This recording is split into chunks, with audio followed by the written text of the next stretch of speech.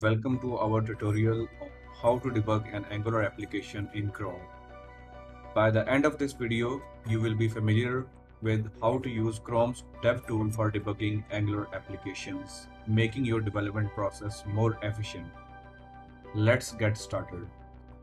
Firstly, make sure that your Angular application is running. You can do this by typing ng-serve in your terminal inside the directory of your Angular project my angular project is already running. I will stop it.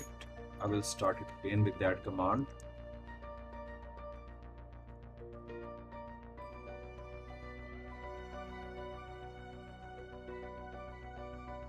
This command will compile your application and start a web server.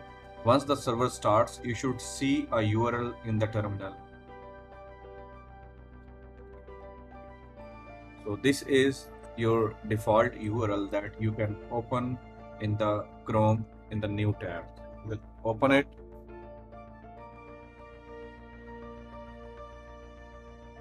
Now let's open the chrome devtools you can do this by right clicking anywhere on your web page by selecting the inspect menu or use the keyboard shortcut Ctrl Shift I for Windows or Command Option I for the Mac. So for the Mac, it is Command Options I. So I, if I press on that, I can see the inspector. Okay, that is opened. This, this is called DevTools.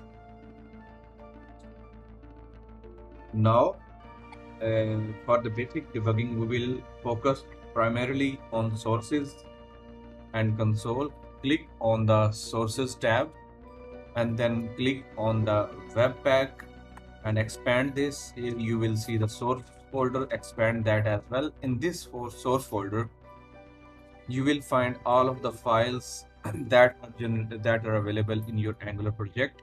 You can use these files to inspect your code. Now let's set a breakpoint in one of your typescript files. Navigate to desired file file and click on the line number where you want to set a breakpoint. So for example, in the login, there is a file login.component. I want to set a breakpoint on line number 18. So just click on this area where it is hovering and with that, a blue icon will appear indicating a breakpoint. When execution reaches this line, it will pause allowing you to inspect variables and the call stack. Go back to your application and perform the action that triggers the breakpoint. The execution will pause at the breakpoint and you will see the current call stack and local variables on the right side of the source panel. So I will go to the login page and I will submit the function and it will, uh, this login function will be executed and it will stop here. So on the right side, you can see we have all of the breakpoints that we have added. If you add further breakpoints, those will also be listed here.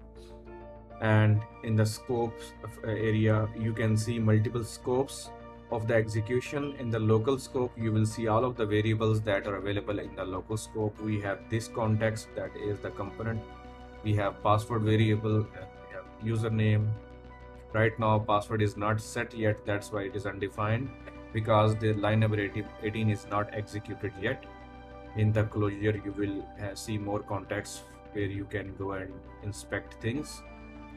And this is the call stack that will tell you that how exactly this function wa was executed. It will give you the entire chain that how this uh, execution reaches uh, up to this line Within this paused execution state, you can hover any variable in the source code to see the current value. So for example, I'm hovering on password. You can see that it is the value is ABC and the value for username property is David. And if you hover your mouse on uh, the on the value property, you will see there is an object in that property Now, if you uh, want to continue to the next line, you can uh, click on the play button. and with that it will stop on the next line and then you can observe the values. And now you can notice that the value for the password has been set in the password variable because that line has been executed.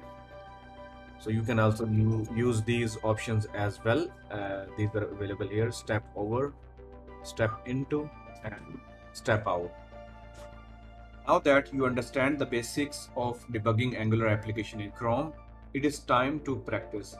Debugging is an essential skill for any developer and more you use these tools, the more proficient you will become.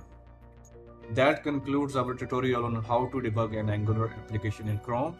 If you found this video helpful, please give it a thumbs up, share and don't forget to subscribe to our YouTube channel for more coding and development tutorials. If you have any questions, please drop them in the comments below. Thanks for watching and happy coding.